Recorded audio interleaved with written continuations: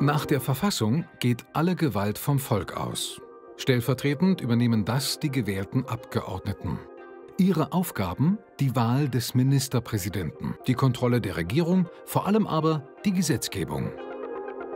Zentrale Überlegung der Gewaltenteilung ist es, dass keine staatliche Instanz zu viel Macht erlangt und diese, wie etwa in der Zeit des Nationalsozialismus, missbraucht. Das Parlament kontrolliert die Regierung. Das Parlament wählt den Ministerpräsidenten und äh, ist dann dafür verantwortlich, dass die Regierung von der Mehrheit unterstützt und von der Minderheit kritisiert und kontrolliert wird. Wie funktioniert das in der Praxis? Wer Ministerpräsident werden will, benötigt die absolute Mehrheit der Stimmen des Parlaments. In der Regel reicht ihm oder ihr dafür nicht die Zahl der Stimmen seiner eigenen Partei, sondern er muss dafür noch andere Partner gewinnen. Dafür bildet sich eine sogenannte Koalition. Der derzeitige Ministerpräsident, Bodo Ramelow, führt eine Koalition aus der SPD, den Grünen und seiner Partei der Linken an.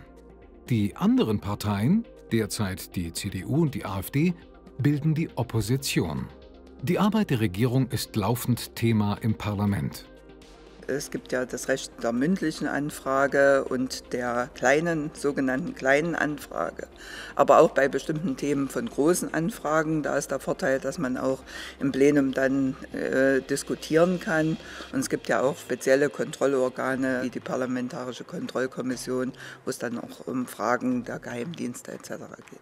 Die meisten Initiativen für neue Gesetze kommen von der Regierung. Aber auch Fraktionen oder mindestens zehn Abgeordnete können ein Gesetz auf den Weg bringen. Der führt dann über sogenannte Lesungen im Plenum und die zuständigen Ausschüsse geht kein Gesetz aus dem Land heraus, wie es hineingekommen ist. Äh, das hängt ganz äh, davon ab, welchen Umfang die Gesetze haben. Wenn es Artikelgesetze sind, die äh, dazu beitragen, EU-Recht zu übertragen, dann ist das eher gering. Aber wenn es natürlich sowas ist wie Schulgesetz oder wie das Haushaltsgesetz, dann gibt es natürlich viele Änderungen. In den Ausschüssen findet die inhaltliche Beratung statt.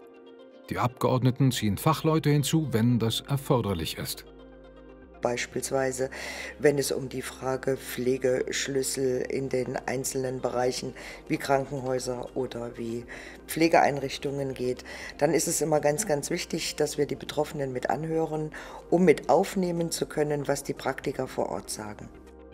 Ein Gesetz tritt erst dann in Kraft, wenn die Mehrheit der Abgeordneten zugestimmt hat und es der Landtagspräsident unterschrieben hat. Mit der Veröffentlichung im Gesetzesblatt verlässt das Gesetz den Landtag. Es tritt in Kraft. Organisiert werden Abläufe und Verfahren durch den sogenannten Ältestenrat. Der Ältestenrat ist natürlich nicht der Rat der Dienstältesten oder der Jahrgangsältesten Abgeordneten im Landtag, sondern der Ältestenrat ist ein Gremium, das im Kräfteverhältnis des Landtages äh, den Landtagspräsidenten in der Ausübung seiner Aufgaben unterstützt Ihm gehören an die Vizepräsidenten, die Fraktionsvorsitzenden, parlamentarischen Geschäftsführer. Der Ältestenrat tagt immer vor den eventuellen Plenumssitzungen. Daneben stehen den Abgeordneten die Mitarbeiter der Landtagsverwaltung zur Seite. Sie sorgen dafür, dass die Abgeordneten die notwendige Unterstützung bekommen, um ihre Entscheidungen treffen zu können.